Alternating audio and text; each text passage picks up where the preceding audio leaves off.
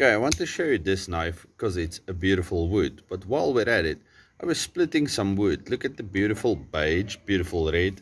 And then some of these are almost a purple. So dark are they. Okay, this knife is the CJRB Ahab. Well, the Artisan Cutlery Ahab. Beautiful, smooth Gabor wood. Liner lock. Centering on this thing is perfect. Titanium pocket clip, mold clip, beautiful clip. And a beautiful backspacer. Flicks out like a dream. Spidey flicks like a dream. The harpoon point gives you a place to rest your finger.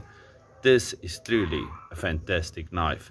And it's also in AR, if you can see that, AR RPM 9, which is a budget powdered metallurgy steel, but a fantastic steel.